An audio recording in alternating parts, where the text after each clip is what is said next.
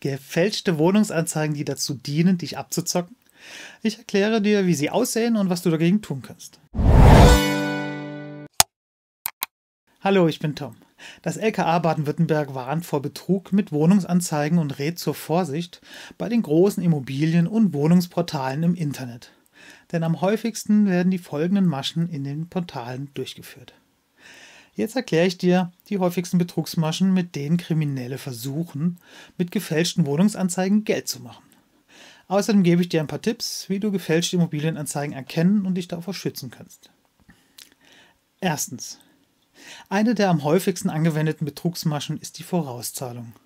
Der vermeintliche Eigentümer meldet sich bei dir und teilt dir mit, dass er im Ausland ist oder anderweitig verhindert ist und deshalb nicht persönlich zur Besichtigung kommen kann.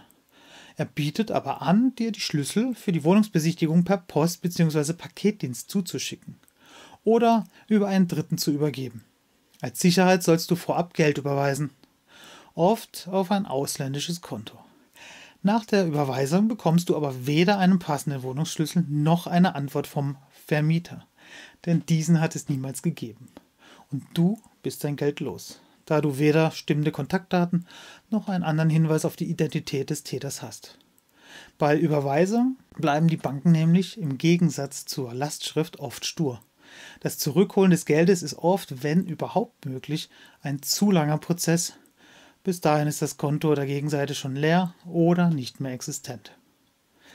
Zweitens. Eine weitere bei den Betrügern beliebte Masche ist die Zahlung per Nachname. Auch wenn der Vermieter dir zunächst den Wohnungsschlüssel zuschickt, solltest du auf keinen Fall Geld überweisen, bevor du die Wohnung nicht besichtigt hast und weißt, dass der Schlüssel passt.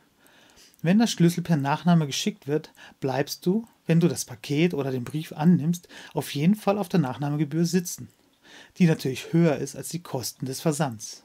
Du bezahlst quasi per Nachname eine Kaution. Spätestens an dieser Stelle solltest du stutzig werden. Außerdem ist nicht gesagt, dass der Schlüssel überhaupt ins Schloss passt oder einer im Päckchen ist oder ob die beworbene Immobilie überhaupt existiert. Drittens. Manchmal wird dir eine Wohnung auch direkt zur Miete angeboten, ohne dass du sie bisher betreten und besichtigt hast. Oder die Wohnung wird von dir besichtigt und du erhältst sofort danach eine Zusage. Als Gegenleistung möchten die Täter aber vor dem Unterschreiben des Mietvertrages eine Kaution von dir. Ist das Geld überwiesen, fehlt von dem vermeintlichen Vermieter jede Spur und du bist der Depp. Jeder sollte wissen, dass eine Mietkaution immer erst nach Abschluss des Mietvertrages, immer erst zu dem Zeitpunkt, an dem das Mietverhältnis vereinbarungsgemäß beginnen soll, fällig wird. Niemals vorher. Sollte vorher jemand eine Kaution, Gebühr oder sonst was von dir verlangen, solltest du die Finger von der Wohnung lassen, egal wie verlockend sie ist und was für ein vermeintlich tolles Schnäppchen denn das ist sie nicht umsonst. Du solltest auch stutzig werden, wenn du einen Vertrag angeboten bekommst, ohne die Wohnung gesehen zu haben, ohne dass du persönlich mit jemandem gesprochen hast. Laut Verbraucherzentrale gibt es keine genauen Statistiken darüber, wie oft solche Fälle vorkommen. Sie warnt aber ausdrücklich davor und bittet darum, dass wir unser Hirn einschalten, auch wenn versucht wird, es mit tollen, verlockenden Angeboten zu deaktivieren. So, das war's schon. Ich hoffe, ich konnte dir helfen. Ich wünsche dir alles Gute und bis bald. Ciao, ciao.